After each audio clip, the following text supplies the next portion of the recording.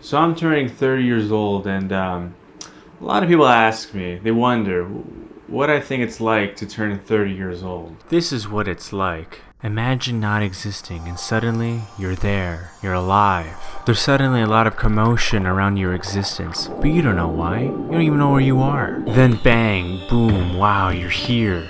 Oh, you're a freaking baby. But you don't remember being a baby. You don't remember anything until you're about five years old. And at that point, you're in school and it's horrible. You're like, oh my god, why am I in school? It's so boring. The only thing that makes you happy is playing video games and everyone's telling you how horrible they are, but how could they be so bad? They're making you so happy. Then you start liking girls or boys or whatever the hell you're into. You're like, oh my god, is he gonna like me? Uh, I'm scared. I don't know what I'm gonna do. And then before you know it, you're in college and you're like, holy shit, I graduated high school. I don't even remember ninth grade. And you're like, I'm gonna work hard. I'm gonna do my best. And you take all that energy and you get super drunk. And you're like, hell yeah, this is awesome. I got a girlfriend. I work in a bar. And then you're like, hold on, wait a minute. This is all bullshit. I'm just pretending to like all this this shit to make other people happy. You're like, I'm still young, I still have a lot of time, and then you look at the watch and you're like, holy shit, I'm almost 30 years old. And then you're like, oh no, what the hell am I gonna do with the rest of my life? So you think about all the things you love doing, and they're all things that are really impractical. So you're like, screw it, let's go down this rabbit hole, let's see how far this thing goes. There are plenty of ups and downs, but you learn a lot of cool stuff and meet a lot of cool people, and you feel as though you built a foundation to start creating a bright future for yourself. And then you're like, holy moly, I'm turning 30 years old old in a week, and you think about how far you've come and all the cool places you've been. So you decide to make a video talking about what it's like turning 30 years old,